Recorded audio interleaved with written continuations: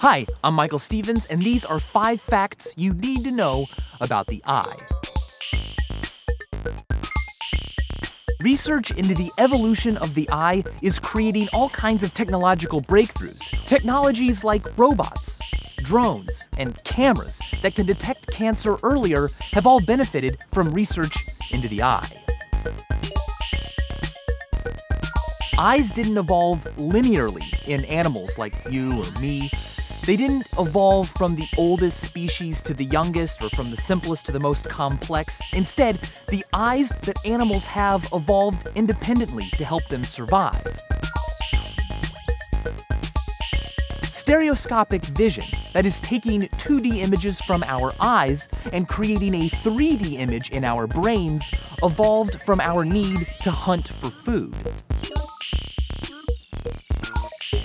Humans can see about 10 million different colors. This helps us select mates, but it's nothing compared to what other animals can do.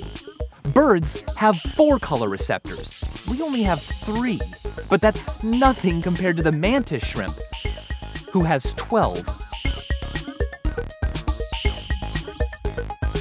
Animals with horizontal rectangular pupils, like goats, are able to physically rotate their eyes inside their heads when they put their heads down to graze. This protects them from predators. They can see what's in front of them while their head is down. It doesn't always work, but it has helped their species stay afloat, and that's what matters.